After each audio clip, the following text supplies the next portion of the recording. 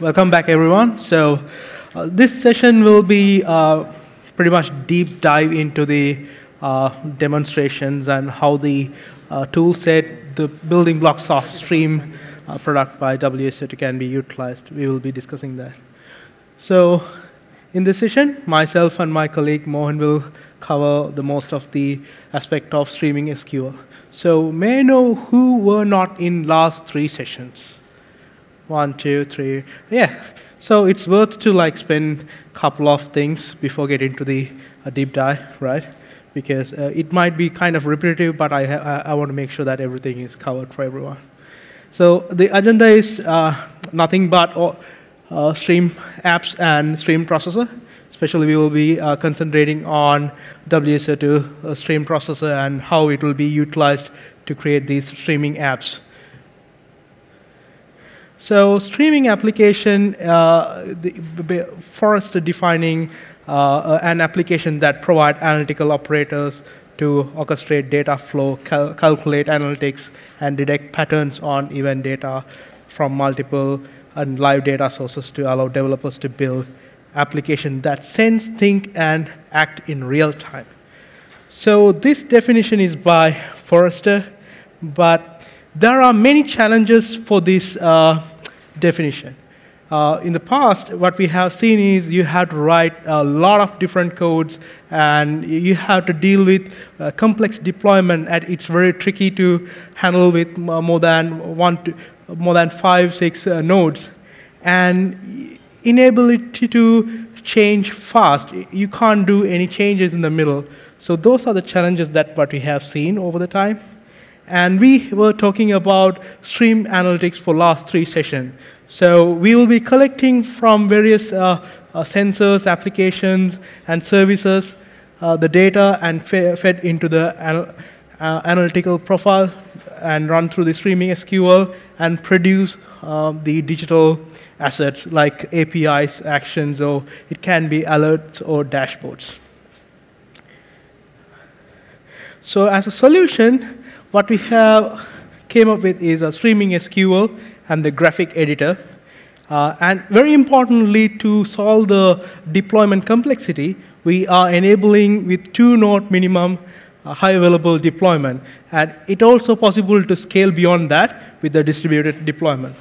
Further, we also provide templated SQL scripts and drag and drop UI functionalities for your complex SQL uh, stream processing.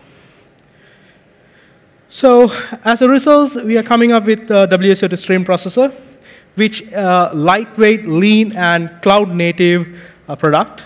Uh, easy to learn is, uh, streaming SQL. Uh, how many of you know SQL? Pretty much everyone. So it's pretty easy.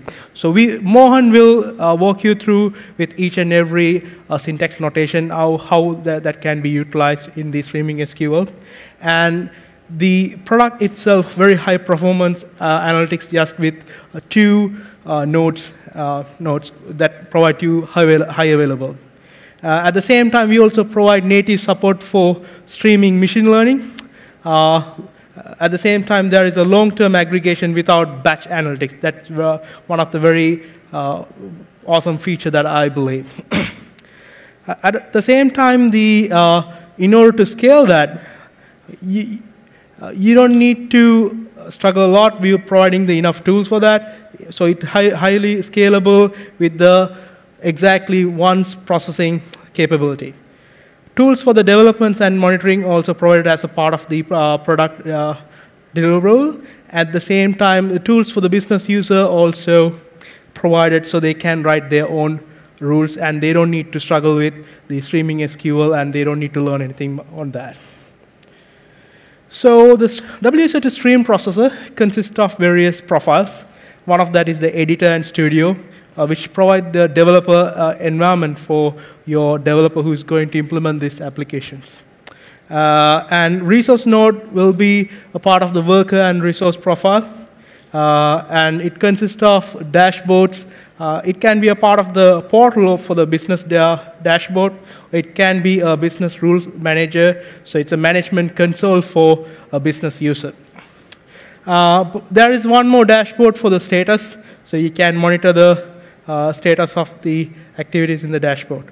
Further, there is one more profile for managing the jobs and for the distributed processing.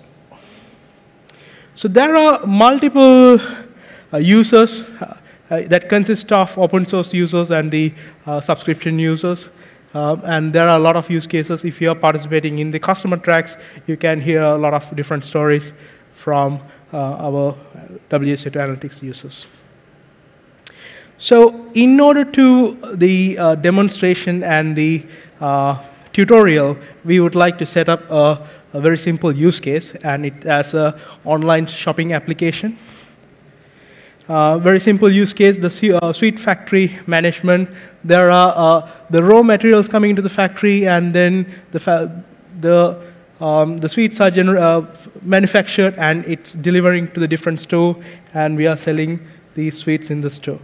But this, for this use case, there are multiple aspects or the uh, use cases that you can see from one single place.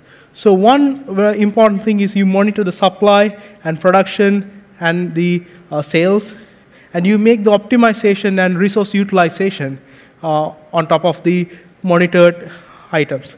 And then also you detect various different um, alerts and failures uh, with the predict demand. Um, further, you also make the manage processing rules online and visualize that in the real-time performance. So we have to start from basics. So as you already know, there are three aspects of the uh, stream processing. One, you should collect the information and then you analyze that. And the third, you report that. For that, uh, in order to receive or collect the information, you have to define your stream, how that's going to be. And then you have to configure the input uh, event sources, and you have to map your data uh, schemes with the event mappings. And you also have to define your uh, maps, mappings. Once you receive the messages or receive the events, then you will start to analyze on top of these sources.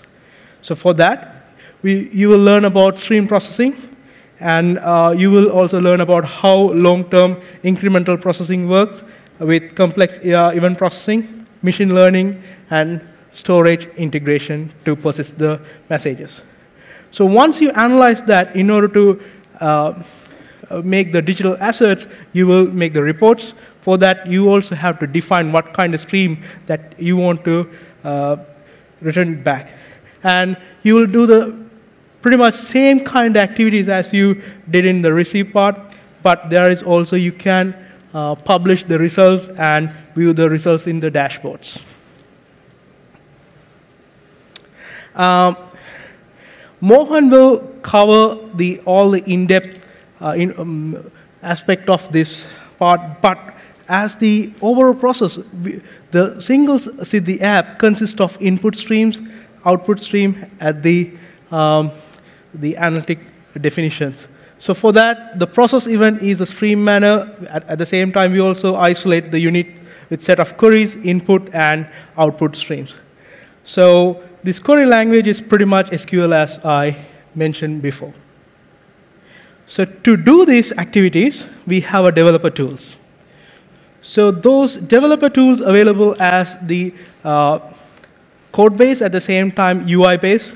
So the editor itself consists of debugger, uh, simulation, and testing tools. Uh, and we will be using the, this Developer Studio to showcase you and demonstrate how we are going to achieve the use cases that we have defined before. So the Stream Process Studio consists uh, of uh, writing a Siddhi application which allow you to uh, uh, highlight the syntax and it also help you to autocomplete the informations uh, with error reporting and documentation support. And very important part of any development activities, you have to able to do uh, debugging without any struggle. So the uh, the studio itself providing a debugging tools to inspect the events and inspect the query states uh, during the uh, implementation phase. Further, the uh, testing of the Siddhi app can be done via the event simulation. So you can send the event by event and you can simulate your events uh, with the random data. Also, also you can input the CSV file and you can simulate your incoming events.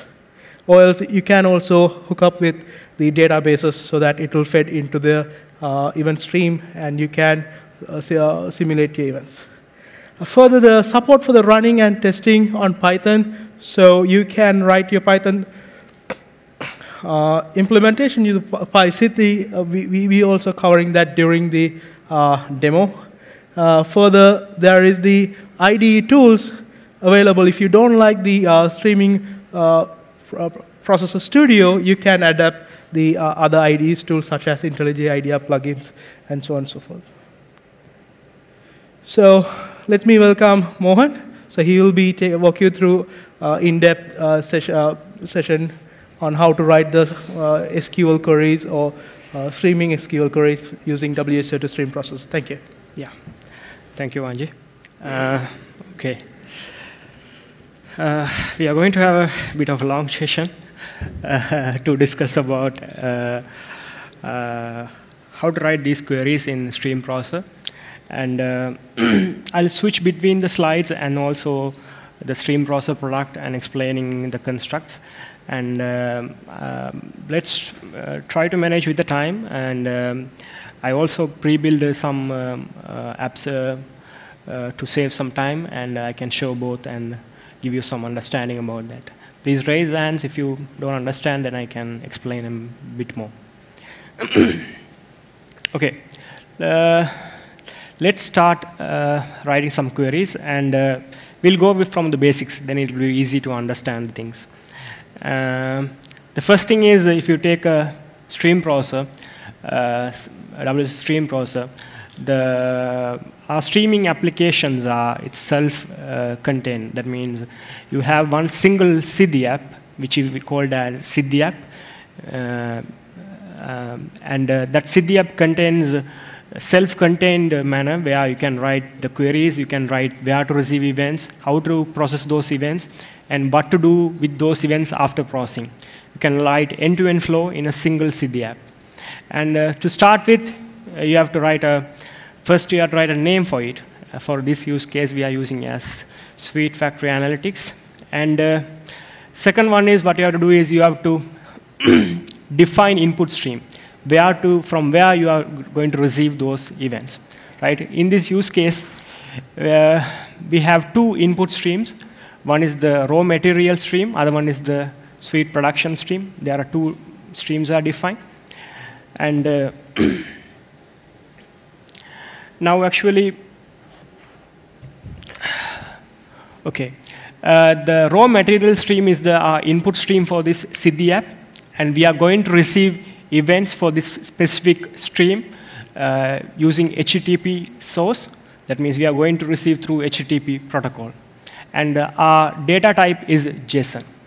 And if you check the, the specific raw material stream, you have two attributes, name, amount, which is a string and a double type.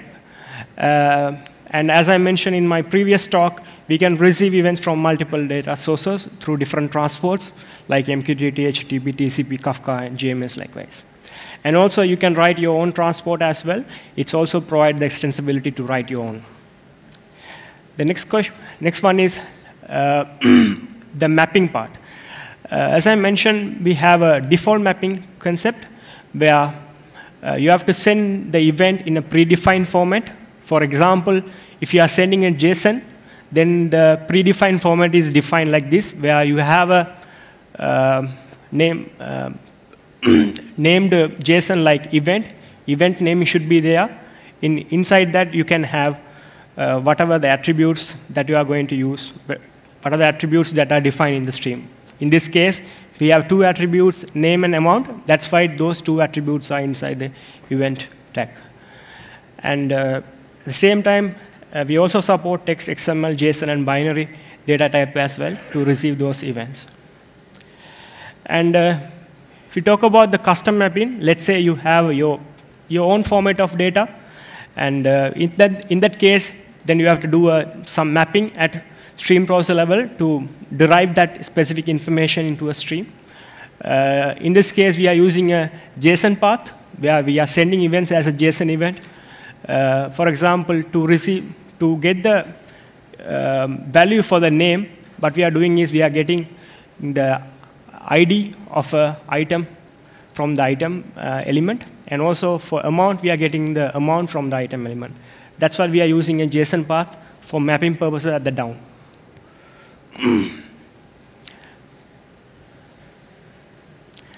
uh, now, uh, we have received, uh, received the event to the uh, raw material stream using HTTP protocol. Uh, after that, what we are going to do is uh, we are going to log those events simply after receiving events. For that, we are using a sink. Uh, in this case, we are using a sink called logger, which simply logs the receiving event just for our demonstration purposes. And uh, in, the, in a typical use case, you will use some um, other things like HTTP if you want to send to another endpoint, or if you want to send it to a, a dashboard, you'll use, some uh, sink type called WebSocket. Likewise, it's based on the use cases. Here, for just for demonstration purposes, I'm using uh, log sink type for logging purposes.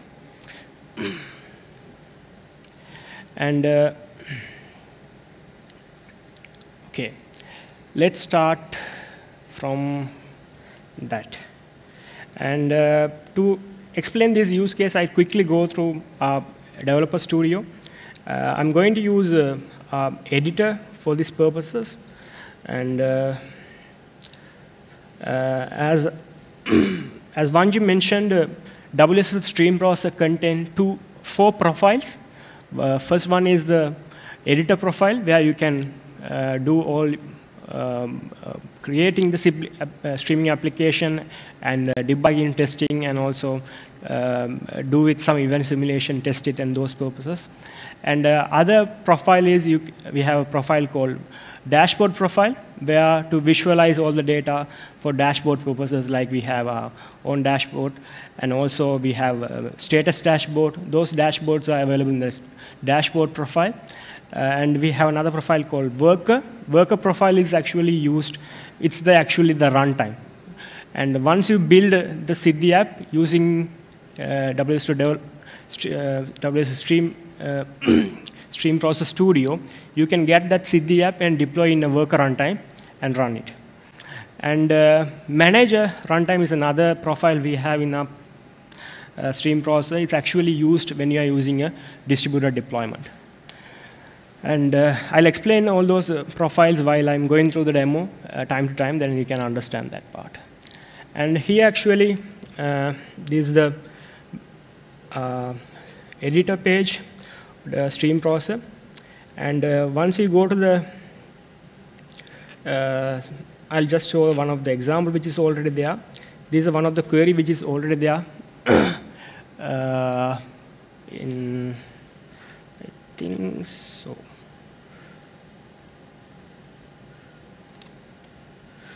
As you can see. Yeah. This is a simple query that is, uh, which is already written, where you have a source type and you are receiving events, and after that, you have a sink type which simply logs that. And um, user can, as we mentioned, it has uh, auto completion by providing suggestions based on the use case and uh, it, it, suggests you different source type like WSO2 event, WebSocket, SQS, like different source types. And based on the use case, you can select one. If, let's say if it WSO2 event select, give you the all required mandatory properties that required for the source. And uh, then we are defining a stream, and define stream uh, tooltip will give you the information about what type of stream that you have to create and it suggests some information, help you to write those queries. And uh, let's say I'm writing define stream, and it give you uh, some uh, filling where you can write like attribute uh, name, and we can say it's a string type, and uh, age.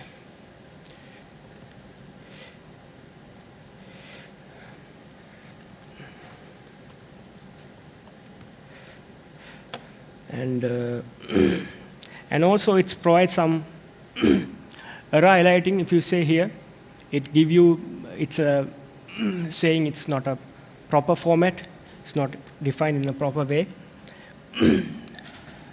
and, uh, and likewise, you can get more information about the errors and auto-filling those information. And let's say uh, this is actually the source editor. If you are good at Siddhi SQL or if you are good at streaming SQL, you can use this source editor and write your query. let's say if you are not familiar much with the uh, source editor, at that time you can move to the design view and uh, uh, you can build your own use case. And here actually, uh, these constructs are actually uh, some predefined models which I already explained, like source, uh, sink, and uh, stream, and uh, table, window. Likewise, it contains all the predefined models which are there in the streaming applications. Uh, for example, let's say we are going to use a sink, and I'm adding a sink here, and it have I give you the type. Let's say I'm saying it's a log type, and uh, I just want to connect it from the stream to specific stream. That means simply whatever events are received to the sweet production stream, I'm simply logging into another stream. And if I go to the source viewer back, and uh, you will see that the newly added stream uh, sink is shown in the source view. Likewise, you can move between the source view and also the design view and write your queries based on your expectation.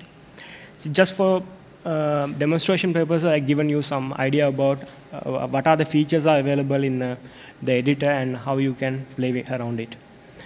And uh, I'll come to the editor again to explain about those uh, examples and use cases. And uh, I'll go through the use cases a bit more and come back to the editor. And uh, the first use case that I'm going to discuss is, uh, uh, we already mentioned about, we are going to talk about uh, sweet production factory, and we are going to talk about the use cases around that. And first use case is production at, at each factory should not reduce below 5,000 units per hour. That means if the production is reduced 5,000 units per hour, then we have to send an alert or something to the manager saying the production is reducing due to something, go and check, something goes wrong. Right? To identify that, we can divide that use case into two phases. One is the monitor and identify events that indicate low production. That's first thing we have to do. How to do that? Uh, we have a stream called sweet production stream, and it has two fields, name and amount. And what we are going to do is we are going to do a sum uh, of the amount, and we are it as an hourly total, and inserting into a stream called low production alert stream. Here what we are doing is we are calculating the sum for, for, for, the, for the events which coming from the beginning. That means we don't have any limits. We don't have any windows or any limits for these queries. That means if we have simply an aggregate for a stream, then it's calculated from the beginning, from the first event itself. It starts from first events and calculate forever. And, uh, but what our use case is we want to calculate the total amount produced in the last hour. Because of that, we are adding a time window into that, where we have a window time, one hour, by adding a window to this query, we are calculating the total amount for last hour. now, we calculate the uh, total amount for the last hour, but what we want to calculate the total amount for last hour for each and every product. For that, what we are doing is we are calculating the total hour, but again we are doing a group by using a name. That means we are calculating the total production for each product for last hour. And uh, next one is, we have, the use case was if the production is less than 500, 5,000 for last hour for each product. For that, we are adding a having, for example, in this case, we are calculating the total uh, production for last hour, and we are group buying by uh, each product. For each product, we are calculating that. After that, we are checking whether the hourly total is less than 5,000. In that case, it's a low production uh, that happened in last hour for some specific product.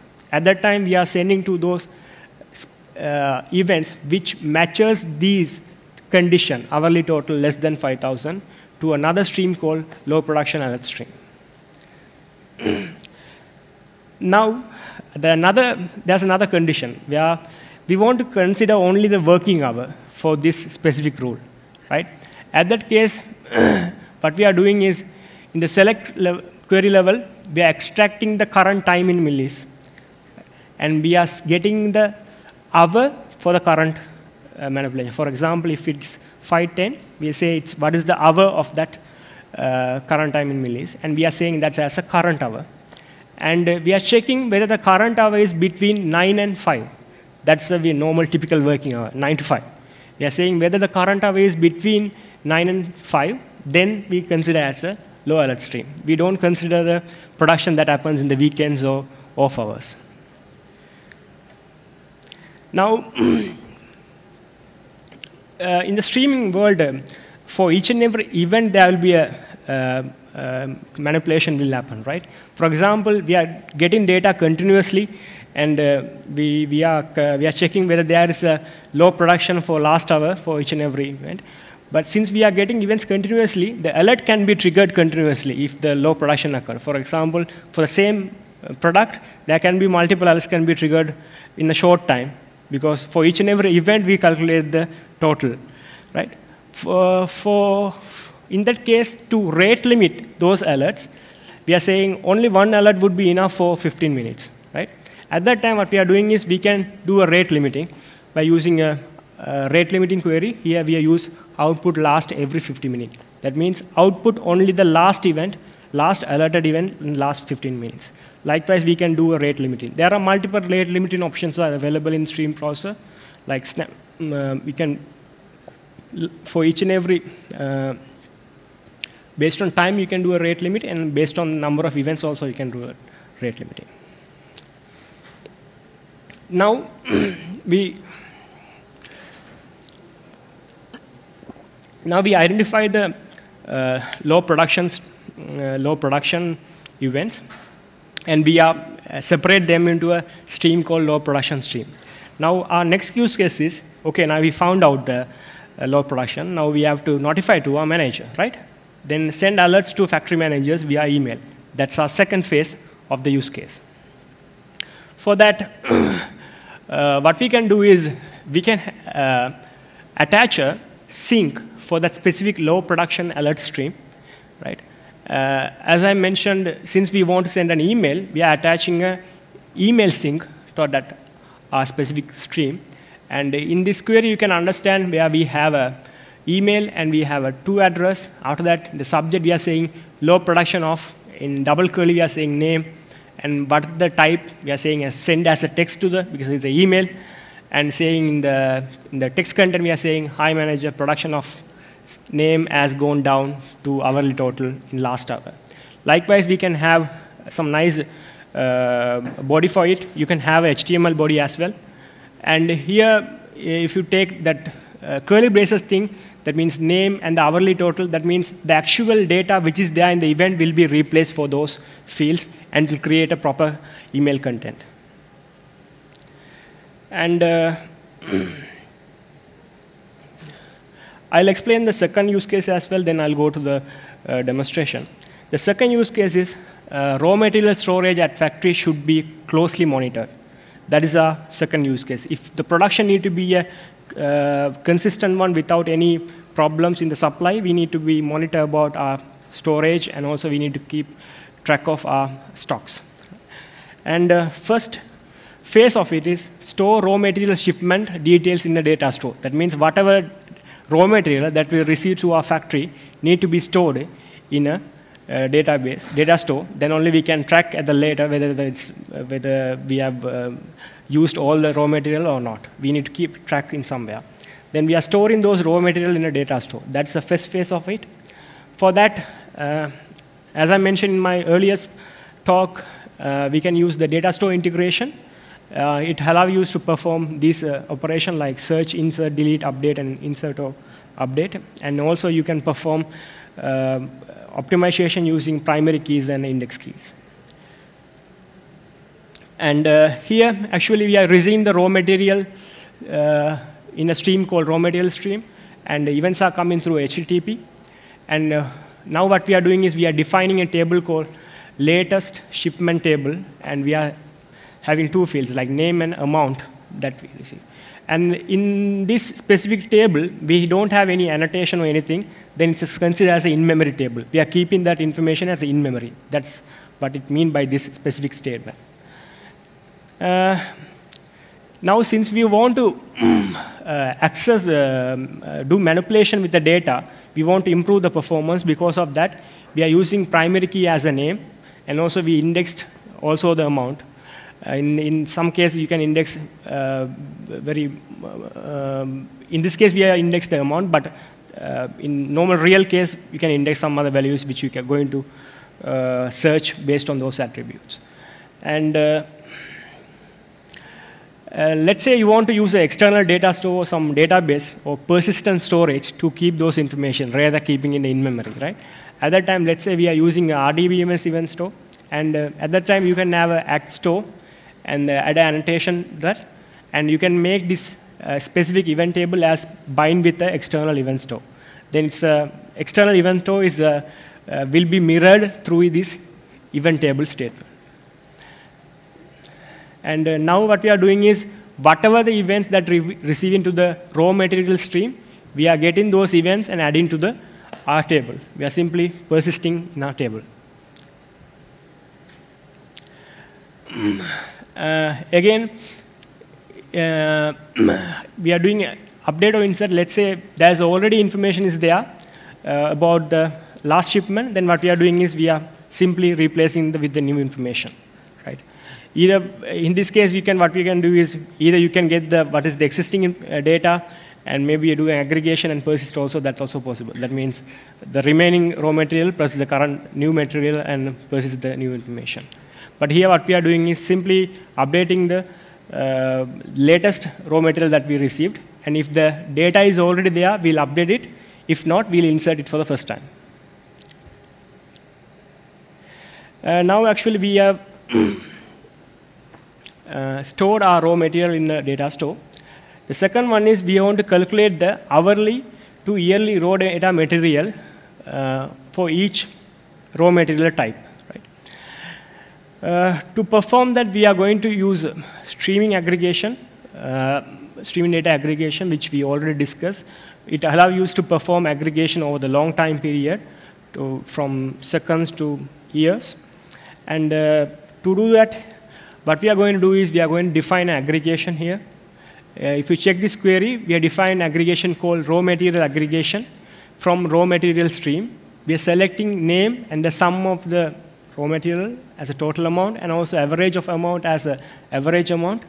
And we are group buying by the raw material name and aggregating from minute to year. Likewise, we are calculating the total uh, raw material over the year and we are uh, keeping them in an aggregated table.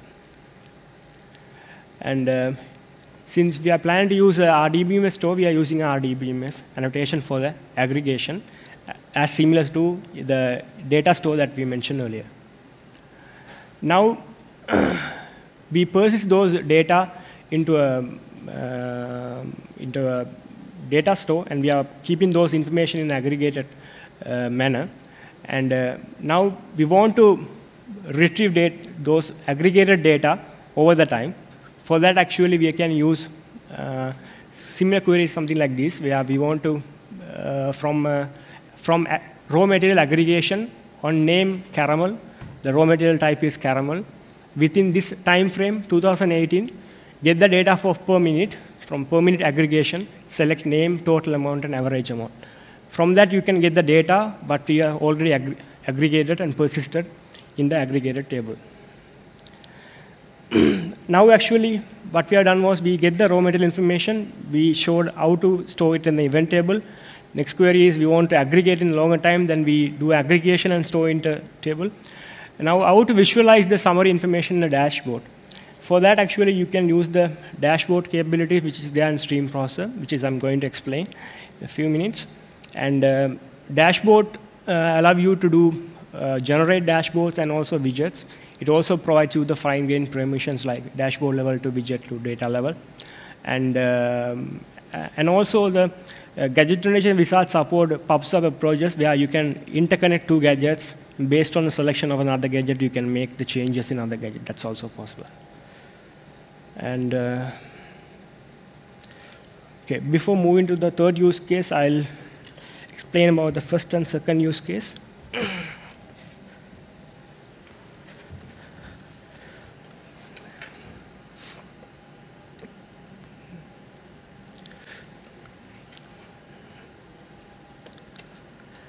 okay. I already created the few use uh, few scenarios which I already discussed. For example, this is the first one. Okay, this is the first one where uh, which I explained earlier, where you define a sweet production stream and also you have a raw material stream, and you are receiving events to a HTTP source, and uh, after that we are simply logging those information. Uh, to, to, explain that, let's say we are running this specific, let's say you are running this specific uh, Siddhi app. Uh,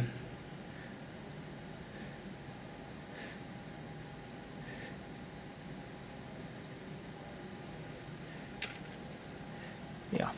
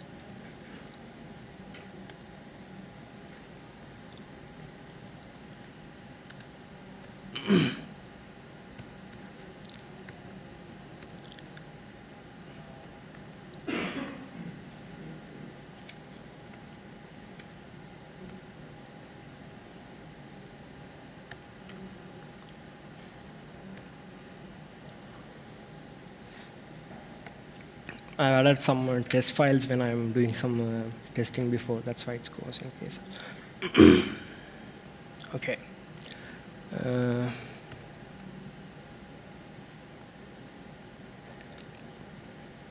now I'm going to the stream process. I'm opening my first case. And uh, here I'm starting the server. And uh,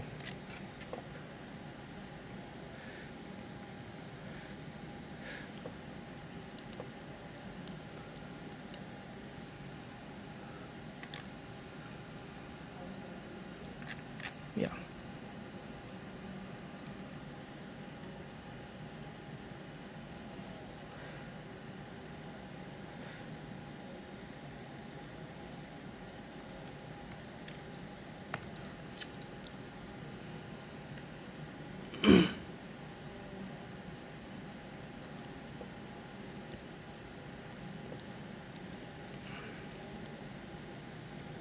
okay. If you take this specific use case, you can see, uh, which I explained earlier. Uh, we have a simple use case where we want to find out the uh, low production for last hour. And uh, after that, if we found a low production, we want to send an email to the uh, manager about that low production. Because of a since I want to demonstrate the purpose, I'm reducing the window time like 10 seconds. And also, uh, rather using an email, I'm using a log uh, logger uh, to explain the use case, since my network is not allowing me to send an email from here. And uh, if we're going to run this specific example, uh, we have a feature called uh, event simulator, where you can try and send some events, simulate events, and test that query. For example, I'm going to use uh, my simulated events to test this specific query. And uh, I'm going to run it. And if I start the simulation, and uh, we can see that uh, uh, alerts are generated based on the my predefined queries, and it it find out the low production greater than that specific amount. We have mentioned that uh, 5,000. Here you can check the low production whenever it's less than 5,000, like 5, 509, 222, likewise. You check those low production and logs those events. I've used a, um, a log uh, sink here to just to log those events, but in the real use case, based on a requirement, you can send those events to different endpoints and do manipulations.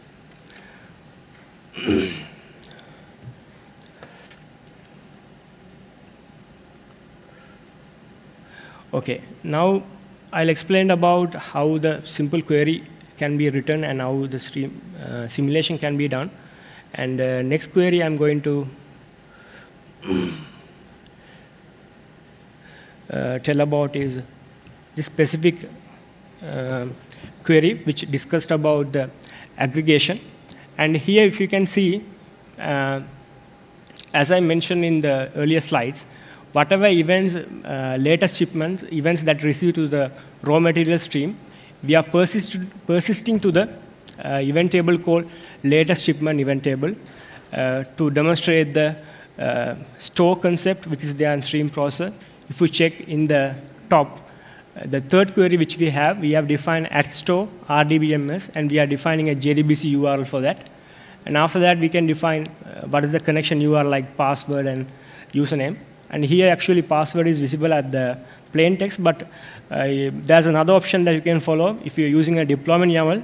And in that um, uh, deployment YAML file, you can encrypt those uh, connection URLs and store them, and use that only the connection factory name in the streaming app level. By using that, you can avoid that uh, sensitive information showing in the editor level. And uh, other than that, the second one is about the aggregation, same as the store. Uh, what we have done was we have written aggregation like raw material aggregation. And from raw material stream, we are selecting name and also sum and also average amount. And we are doing a group by based on the name and aggregating for second to year.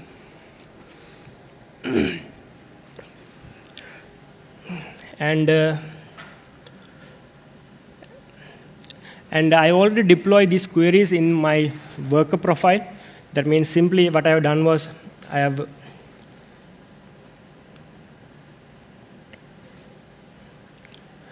I have copied that specific files into my worker runtime. If you go to the worker runtime, uh, if you go to the WSO2 folder, inside that we have a called worker. Inside there's a folder called deployment folder, and inside that Siddhi apps, Siddhi files. And inside that, we are, here only we are adding all the uh, Siddhi apps that we have created in the editor. The Siddhi app is a self-contained file, which you can simply go and drop into the uh, worker deployment directory. After that, those uh, uh, Siddhi apps will be activated and they'll run. In this case,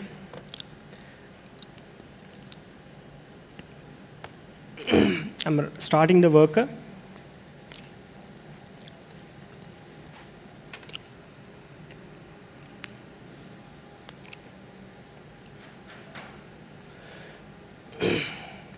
Okay, now the work is started.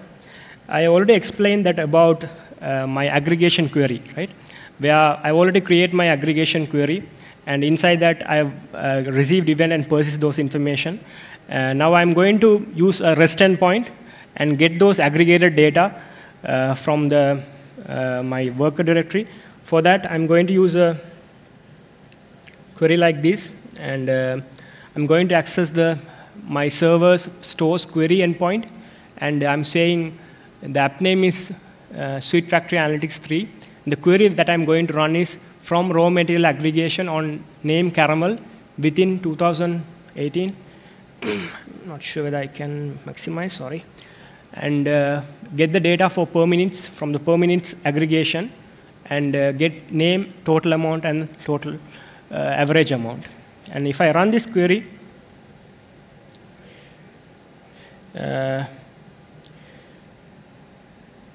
you will see the summarized uh, the records that you get from the REST endpoint.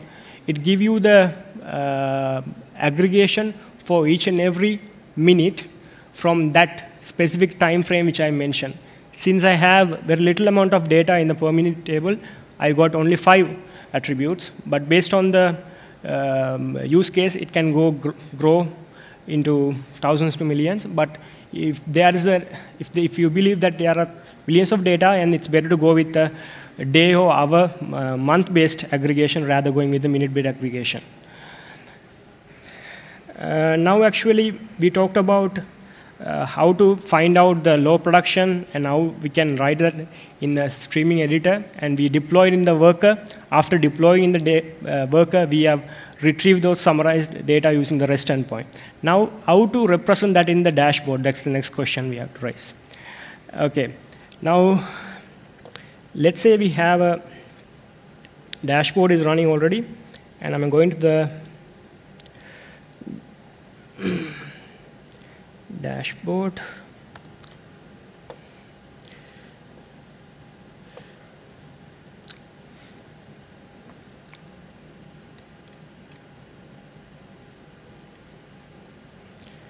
I'm logging to the server. And uh, this is the dashboard uh, default page, which represents all the predefined dashboards which are there. I'm going to create a gadget. Uh, I'm saying sweet aggregation gadget. And uh, as I mentioned earlier, there are multiple data providers available. One is the Siddhi Store data provider, other one is the RDBMS streaming data provider, WebSocket provider, RDBMS batch provider.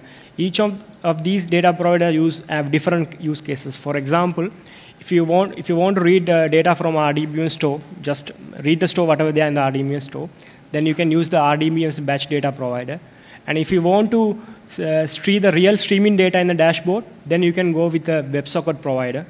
And if you are, uh, if you want to uh, stream the data from the RDBMS, then you can go with the RDBMS streaming provider. And I mentioned we have uh, the aggregated data in the data store. To read the aggregated data in aggregated manner, for that, we have something called Siddhi Store Data Provider. In this case, I'm going to use the Siddhi Store Data Provider. and uh, to use Siddhi, Siddhi Store Data Provider, you have to provide a Siddhi app that used for the, to create that aggregation initially. I already have that aggregation which I used to create. This is the aggregation.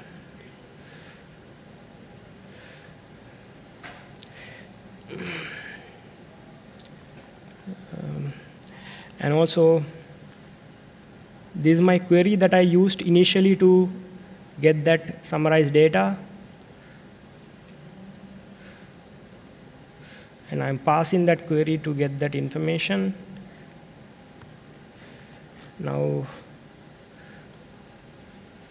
goes to next level, and I'm selecting what the type of gadget I'm going to create. Uh, let's assume it's a bar chart, and next field I'm saying is a name and the type of a chart I'm saying it's a bar chart and uh, by field I'm saying get the total amount and uh, represent the total amount and I'm seeing the legend as 30 and uh, to visualize that information. At that time, you can see when I'm calling through the Postman uh, client, it shows five data, right? same five data is actually represented in our gadget here. And uh, what you can do is you can simply create that gadget. And after that, you can go to the, create a new dashboard. Um,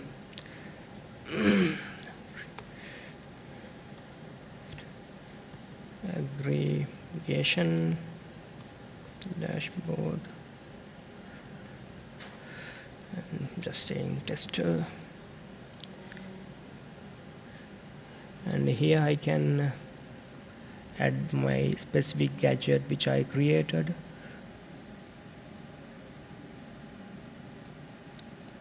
Yeah.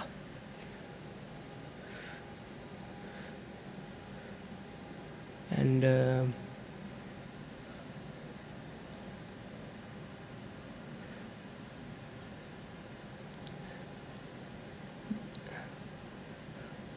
sorry.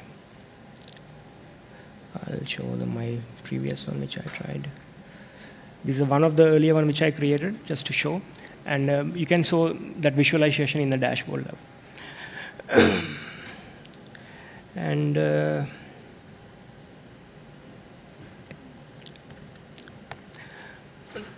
now actually as we discussed in a slide, we have covered the use case related to dashboard and how to write the aggregation, how to retrieve those summarized information. And now I am planning to go to my third use case, where warehouse manager should be alerted if there is a shortage of uh, raw material for future production cycles. That means we are tracking the raw materials information. Yeah. Yeah. Yeah, actually, uh, if the uh, there's a possibility of getting the raw data also. It's a matter of how you are creating the query in that. I have used the uh, Siddhi streaming data provider. At that time, I'm using get the aggregated information. Let's say you have uh, some other option like if you want to, uh, uh if you're using RDBMS provider, then it's a matter of reading the data from the database.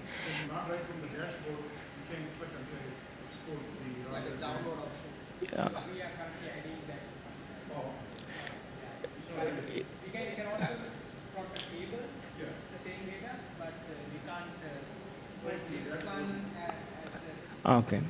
You mean the export capabilities, right? Yeah, I, think that's in our roadmap. Uh, most probably it will come. And uh, he actually, we already calculated the, the raw material, but we have uh, uh retrieved and we are stored in the database. And at the same time, we have uh, manipulated how much uh, production that happening over the time.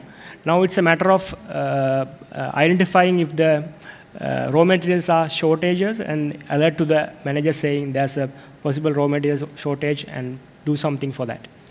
And uh, the first thing is you have to check if the current raw material input rate is enough for the production. That's the first thing you have to do to find out that. To do that, what we are doing is we are joining the production input stream, whatever the raw material that we send to the production, and also we are joining with the raw material stream over the last one hour.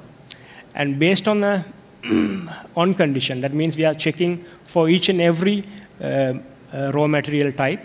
And we are calculating the sum of the raw material.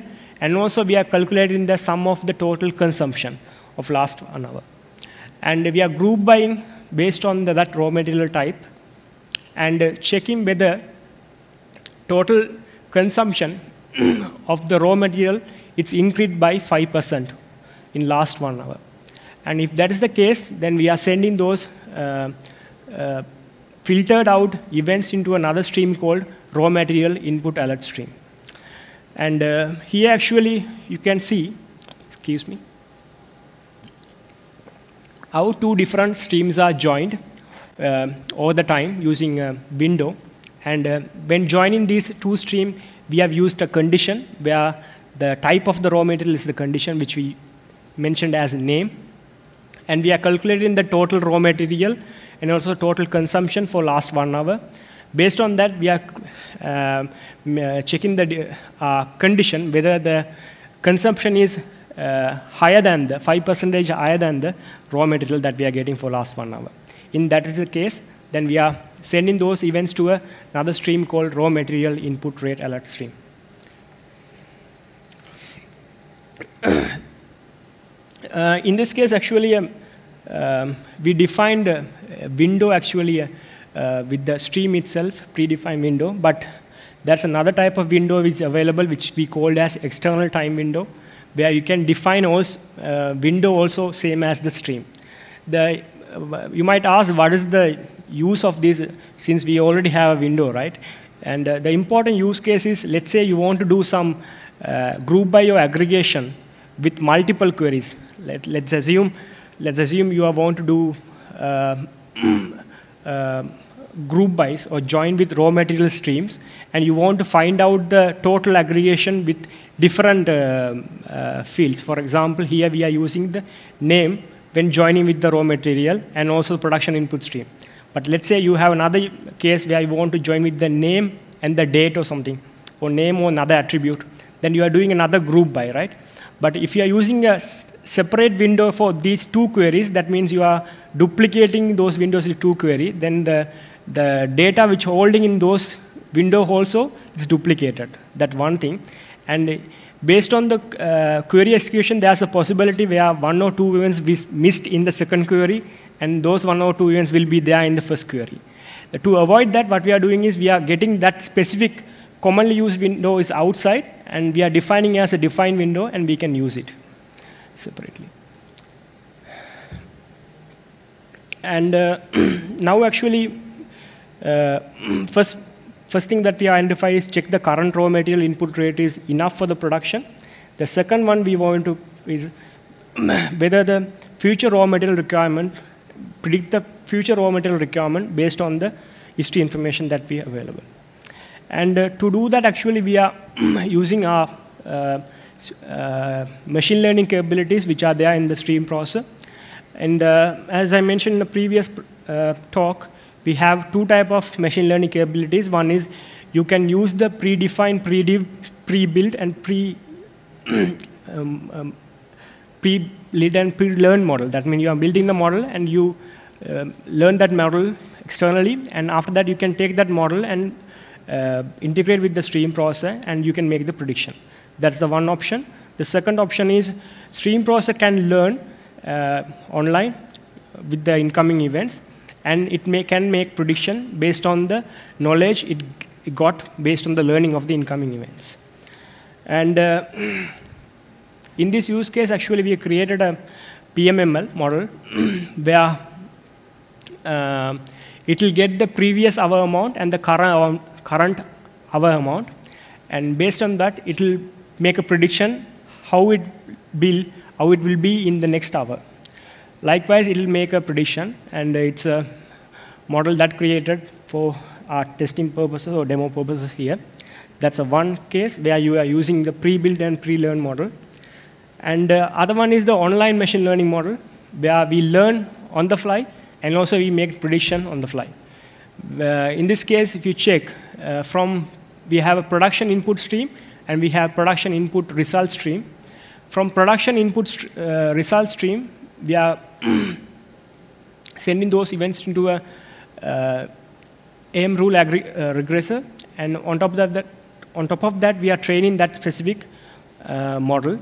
At the same time, we are getting the input production input stream, and we are sending to AM rule regressor, and we are trying to predict how it's going to look like in next hour likewise. And uh, these are uh, two models which we have tried for demo purposes, but based on the requirement, you might have different machine learning models or rules required for that. And uh, now actually, we predicted what will be the, uh, the requirement for the next hour based on our machine learning approach. Now actually what we are going to do is check the predict the raw material availability with the warehouse stocks. That means we have a warehouse stocks, we have the prediction how it's going to be in the next hour. Now we're going to match whether the warehouse uh, stocks in the warehouse is enough for the next hour as per our prediction. Right? And uh, to do that, what we are doing is we are joining we are joining with our uh, prediction stream that we made the prediction, and also we have the, the window that we earlier created, which have the last hours information, which have the uh, raw material information of the last hour.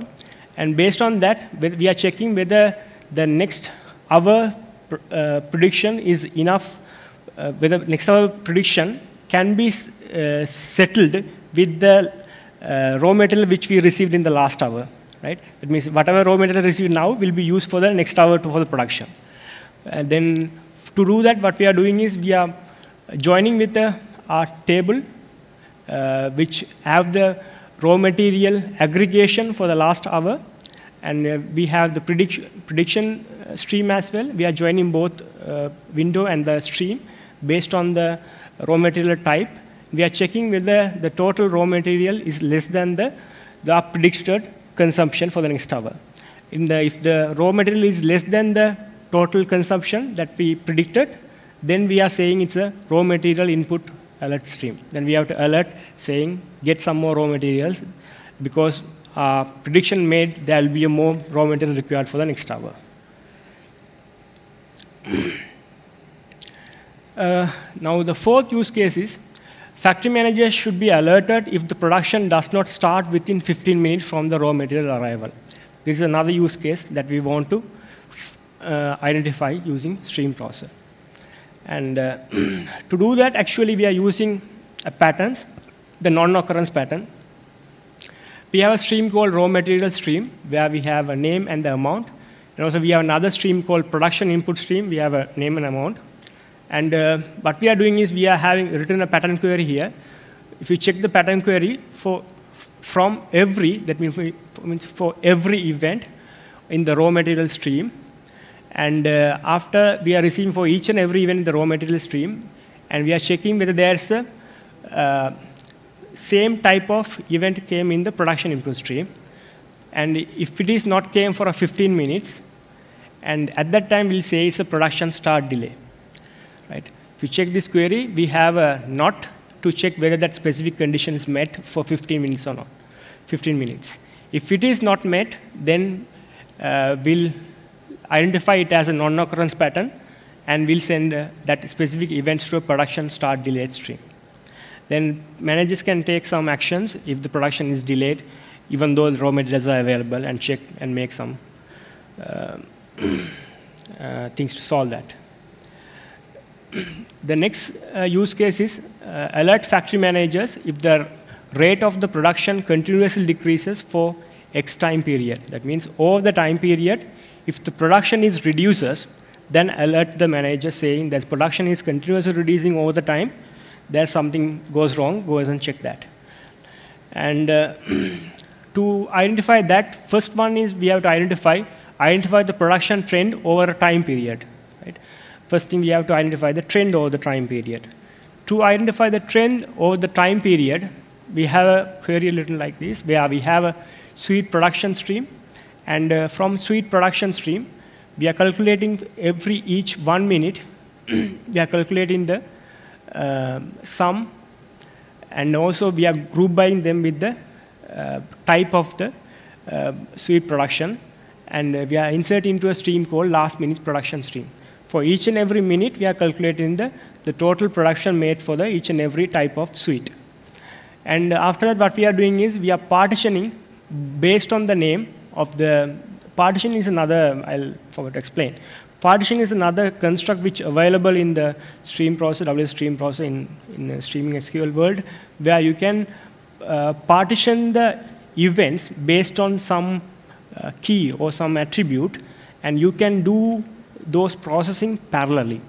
In this case, actually, we have a, a stream called last minute production stream that contains the uh, production for last minute for each and every sweet type.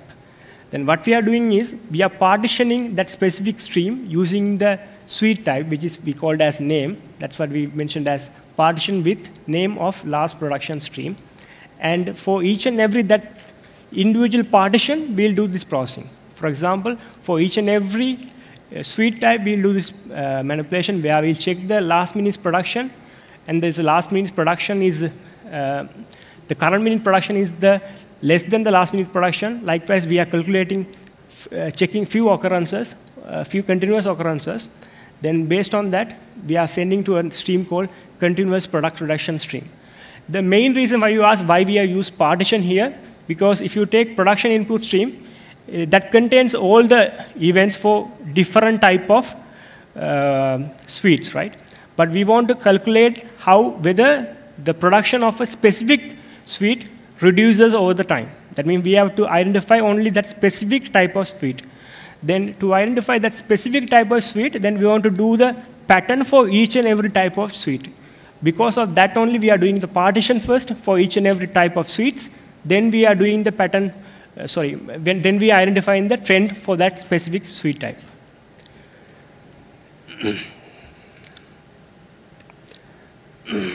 okay, now actually uh, we covered about the use cases, and just I'll quickly explain those things in our editor.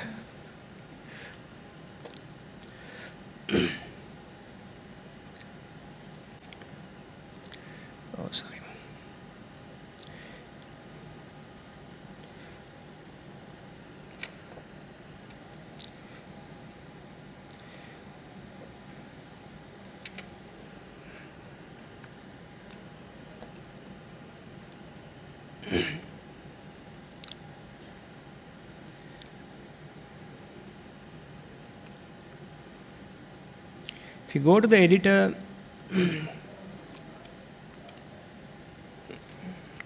the first uh, the first um, uh, query which I already explained, it's identify the, uh, to, um, the, the, total consumption uh, of last hour is uh, greater than 5% of the total uh, raw material that we received. That is the query that we have written here. And uh, here actually what we have done was we are joining both production input stream and the raw material input stream for 15 seconds because of the demo purposes. And uh, based on the type of the raw material, and we are calculating the sum, uh, sum and also the uh, sum of the total raw material and the sum of the total consumption. And uh, we are doing a uh, group by based on that specific type, and we are checking whether the total consumption is greater than 5% of the total raw material. And uh, here actually, um, I'm using a simulator for that to simulate that use case. And uh,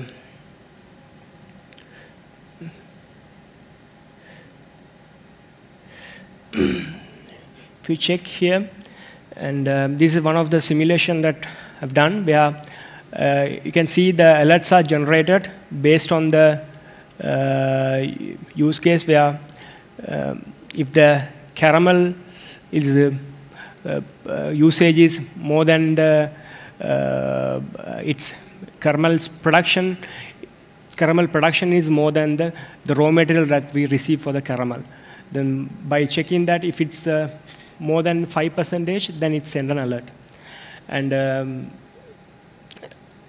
and this, the second one is second query, which I explained is something similar to that. but here we have used the window query. We use a separate window we, and, and uh, written the same query in manner. I'm not going to discuss much on this part. And the third one is about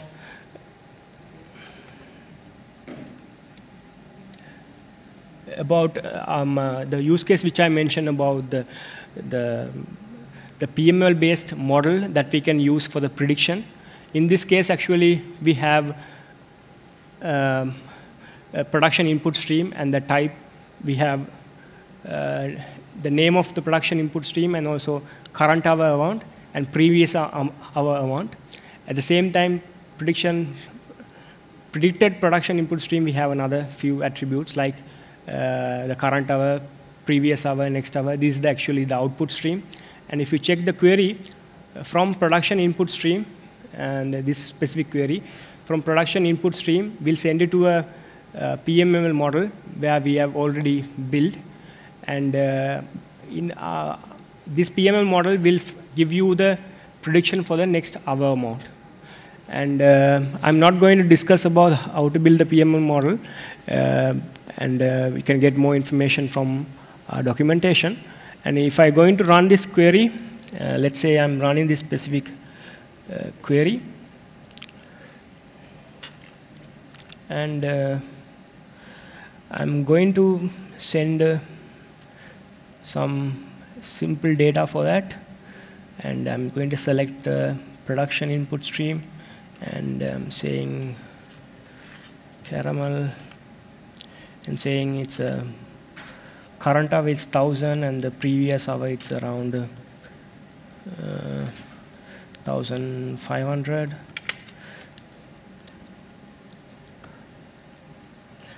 and uh,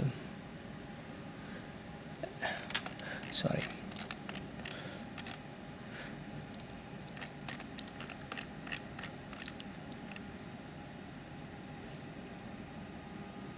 Okay.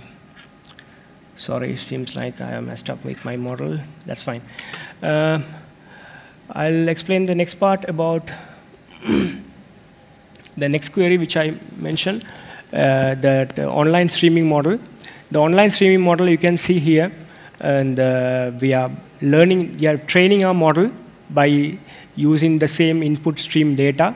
And after learning that model, at the same time, we are predicting the you, with the learning model which we used already. And uh, here also some use, uh, some type of use case that we can use to write the streaming online, uh, online streaming model to predict your use cases as well. And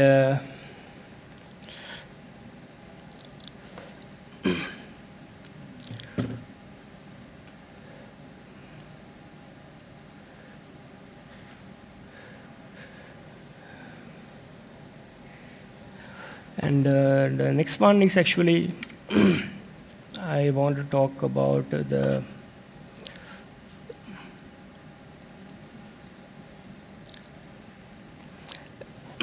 the non-occurrences which I mentioned uh, in my uh, earlier slide, where we have the uh, raw material stream and also we have the production input stream, and we'll check whether the uh, production is started within a specific time once raw material arrived. For that, we are using the non-occurrence pattern. In this use case, if you can see, if you can see, we are checking the raw material stream, and we are checking whether the, uh, there is any event for that specific raw material type in the production input stream for 10 seconds. Um, just for the demo purpose, I'm using 10 seconds, but in real use case, you can have a larger uh, window and use it. And uh, in this case, actually, uh, can use a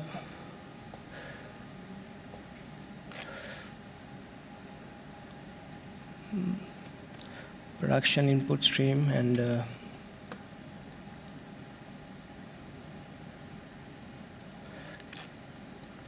based on the condition, if it's met, it will send you a alert and uh, and uh, sorry.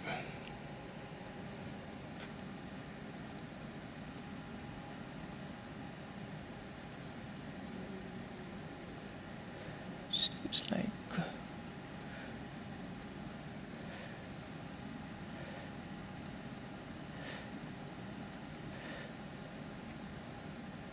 uh, based on the condition, it sends you an alert. And uh, this one is actually um, the last query which I mentioned about the partition, uh, where you are partitioning the incoming stream, last minute production stream, based on the name. After doing the partition, uh, you are calculating the whether the uh, production trend is decreasing over the time. If it's decreasing over the time, you can check the continuous, put into a stream called continuous production stream. Okay, uh, now I got the uh, trigger which I set for the earliest case where continuous production reduction stream where it check all the time. If the trend is goes reduce all the time, then it find out and send an alert. And uh, these are the few queries actually I want to try in the, this session. I'll quickly go a few other cases which I wanted to cover. And uh, and uh, the other important thing is, uh, I mentioned about the business uh, business rule manager in my earliest presentation as well. And uh, um, as a developer, we can write these queries either using the Developer Studio, using the editor, or using the drag and drop uh, editor. But as a business user, they'll need a more user-friendly or easy way of changing those threshold or change, making those changes. And for that, actually, we have something called Business Rule Manager, where developer can uh, build the streaming application, and they can template those threshold, and they can deploy in the stream processor. And uh, what manager can do is they can go to the, uh, those dashboard and change those fields and deploy based on a requirement. And uh, as, as, as well as for the developer also, we have a separate dashboard, the separate editor that they can use to build those template uh, without much hassle, where it will provide you uh, both uh, easy way of writing those templates as well. At the same time, it also provides you for the business user on how to, on when using those created uh, business rules by adding new values like that. I'll explain that part as well. Uh, this is a simple UI about uh, for the developer to write those templates.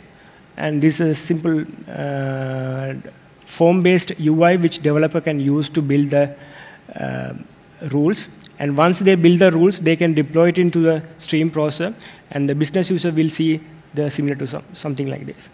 And uh, if I go to the uh, quickly, if I go to the dashboard and I explain that. I go to the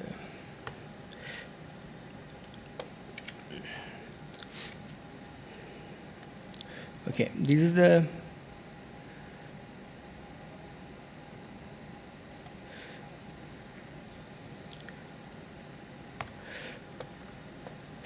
template editor that developer can use to build their uh, template for the business user. Uh, I already have a pre-built uh, template which I'm going to open and it's easy for me to explain. And uh, okay.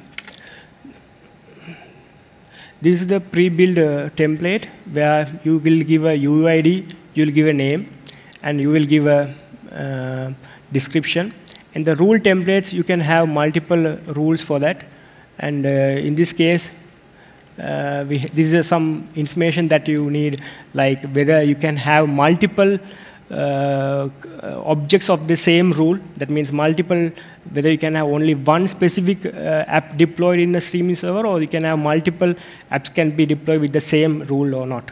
For that, you can have whether the instance count is one or many, and also and uh, if you, it's a template, what type of Siddhi app that you want to template. For example, if you take this specific Siddhi app, uh, you have uh, you have a query like this,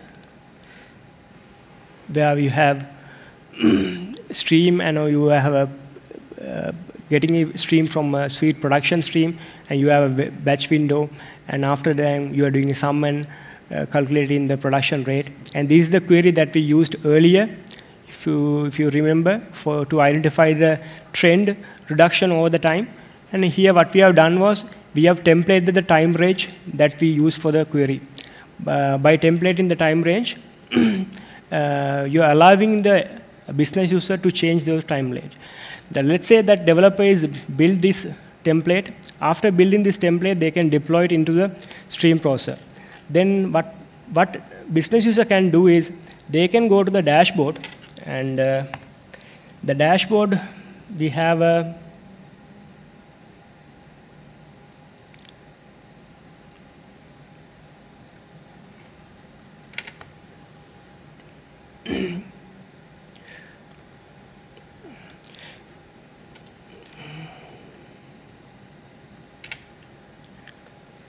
Okay, we have a dashboard for a business user. Uh, they have two options. One is from template, the template that built by the developer. You can build the streaming app. Other one is from the scratch.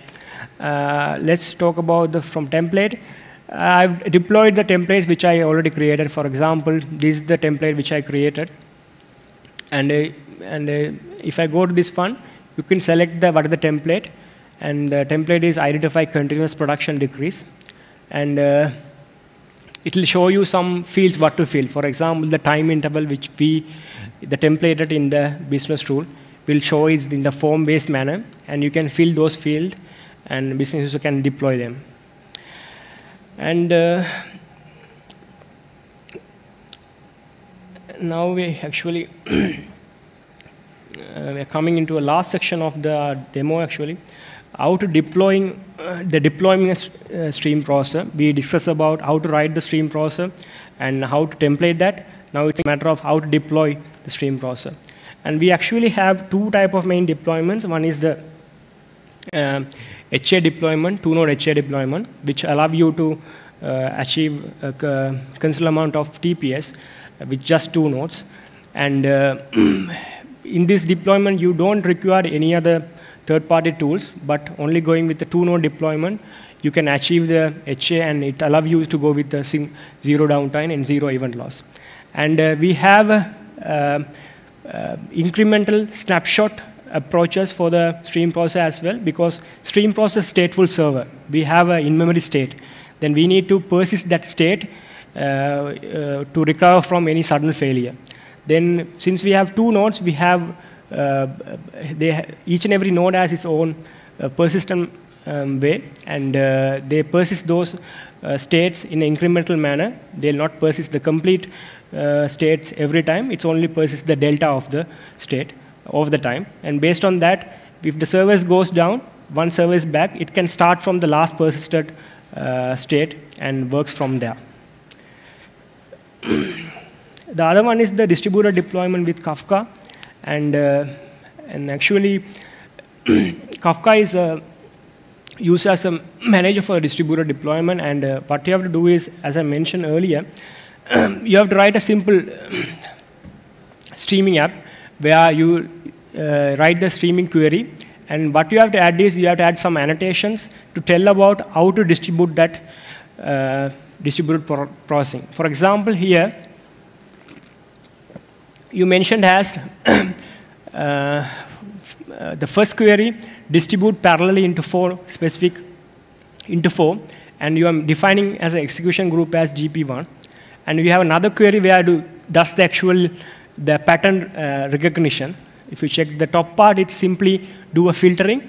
The down part is simply doing a sum, sum based aggregation over last one minute. There are two different independent queries. Now, what we are doing is we are running the first query into four separate parallelly, and we are running the last second query into two parallel execution. The main reason we are, why we are running in the four nodes is if the incoming rate is very high, we need to handle that incoming rate, right? Then we need more nodes. Then we are, what we are doing is we are uh, scaling our receiving or filtering part, and uh, after doing the filtering, we, there will be a less amount of data. Then we have only two nodes which does the uh, the aggregation portion. And uh, I have actually a a demo actually, uh, which, which I recorded. And here actually what you can see is we have deployed a distributed node where we have a worker and uh, and uh, we have a worker and we have a uh, dashboard server, dashboard node, and also we have uh, two manager nodes, and also we have a uh, few Kafka nodes to manage the deployment. And uh, here actually, why we are managing two manager nodes are, manager nodes are the responsible parties to distribute the, uh, to divide the single Siddhi app into multiple uh, small Siddhi apps and deploy into multiple nodes here. And if you check here, uh, this is the one of the managers uh, node and, uh, and this is the workers profile. All the workers and managers are started now. And, uh, and also the dashboard also started and it's up and running. And uh, now we are going to the uh, status dashboard, which I already explained, to see the uh, deployment. And uh, once I'm logged into the node, um, status dashboard, I'm adding the uh, manager nodes uh, Austin port to the uh, this wizard. After adding that, manager nodes knows about all the workers which connected to that. Because of that, it gives you information about the, all the workers. The, what we had was only the first manager, which is the active manager, and we have. And uh, since active manager nodes knows about all the worker nodes, worker nodes are simply dummy. They don't talk each other. You can start up different workers. And here we have worker nodes started. and uh, if I go to the manager, from the manager you can visualize how many Siddhi apps are deployed and how they are deployed. For example, in this case,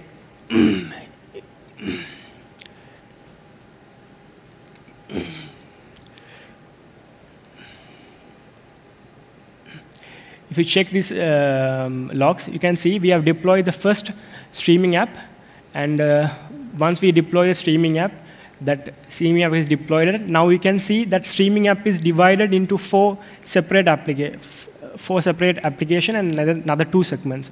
Siddhi app GP1, Siddhi GP1 2, GPI1 3, like it categorized to four parallel execution and again another two parallel executions. And uh, I think this we will help you to understand that part. and uh, this is the query that you have where you have a streaming app, and you are deploying this streaming app into four parallelly, and this query is deployed into four segments, and this specific query is deployed in two segments. And this is the specific uh, view, distributed view, where the specific query is deployed into four parallel manner.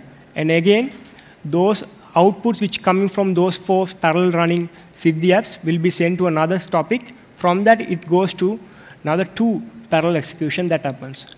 And uh, these are the uh, actually the, the mini, mini Siddhi apps that created by the manager and deployed in that specific workers. And uh,